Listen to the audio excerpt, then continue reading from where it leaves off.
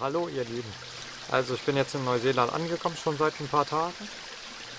Und äh, genau, bin, bin ja nach Auckland geflogen und hatte dort dann ein paar Tage äh, verbracht. Habe dann noch eine, ein ähm, paar organisatorische Sachen in Auckland gemacht und dann bin ich mich weiter nach Kayo hochgefahren in den Norden von der Nordinsel und bin jetzt hier bei der ähm, Gastfamilie sozusagen und rufe hier einen Monat und danach, ich habe mich jetzt doch entschieden dazu, dass ich ähm, ein Auto kaufen werde, weil man kommt ja trotzdem sonst einfach nur furchtbar vorwärts. Ich bin ja von Frankfurt ausgeflogen, mein Flug hatte sich äh, aufgeteilt in drei Teile. Erst bin ich von Frankfurt nach Taiwan geflogen, äh, Taipei genau, äh, und Dort war der erste Zwischenstopp, da hatten wir dann äh, sieben Stunden oder so weiter zwischen, sieben, ja ich glaube sieben Stunden Zwischenstopp gehabt. Der, dieser Flughafen-Service hatte da eine Rundfahrt angeboten, aber da sind wir mitgefahren. Und dann haben wir uns da noch so ein bisschen die Altstadt angeguckt, die bestand da mehr oder weniger aus einer Straße. Ja, aber in Taipei noch ein bisschen durch die Stadt gelaufen, haben uns da noch ein paar Sachen angeguckt. Genau, der Flug von ähm, Frankfurt nach Taipei hat zwölf Stunden gedauert. Und dann sind wir auch äh, weitergeflogen von Taipei nach Brisbane erstmal.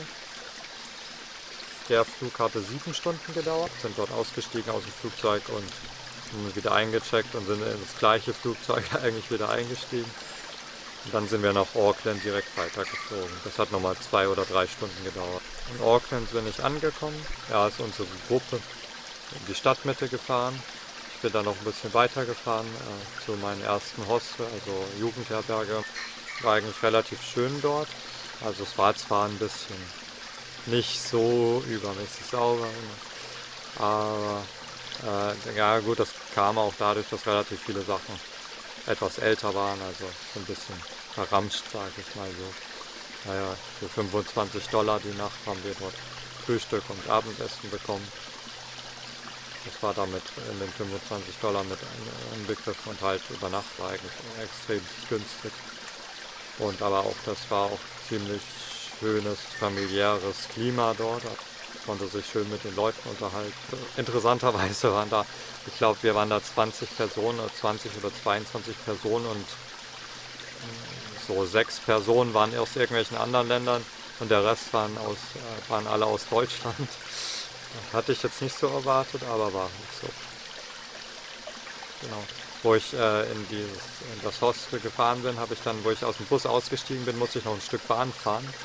Und da habe ich dann vergessen, meinen Rucksack mitzunehmen, weil im Flugzeug wurde der separat mit dem Gepäck transportiert. Im Bus bin ich ausgestiegen. Oh, Mist, mein großer Rucksack, den habe ich ja jetzt vergessen. Da hatte ich nur meinen kleinen Rucksack mitgenommen.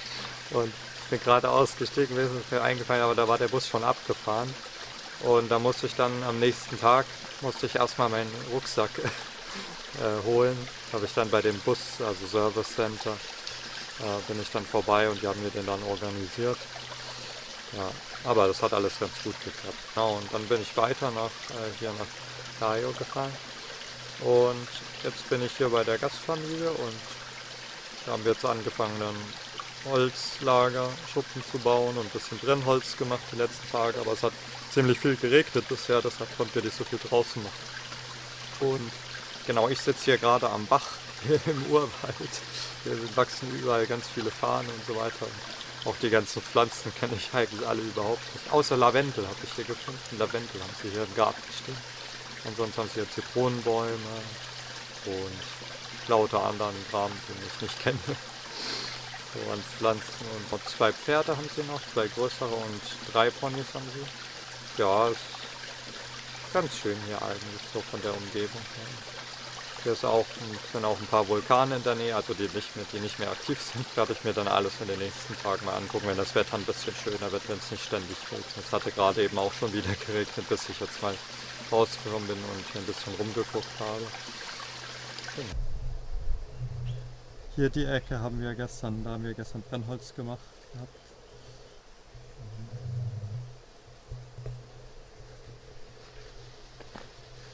Hier kleine, dieses kleine Häuschen mit dem blauen, hellblauen, ach nee, ist nicht mal ein hellblaues, das ist ein Zinkdach, so wie es aussieht. ist das äh, Farmhäuschen hier.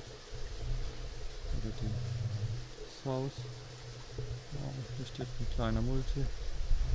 Warum? Und hier sind halt lauter Wald. Hier geht ein kleiner Weg runter. Dann gucke ich mal, wo es dahin geht. Da unten haben sie noch die zwei großen Pferde stehen.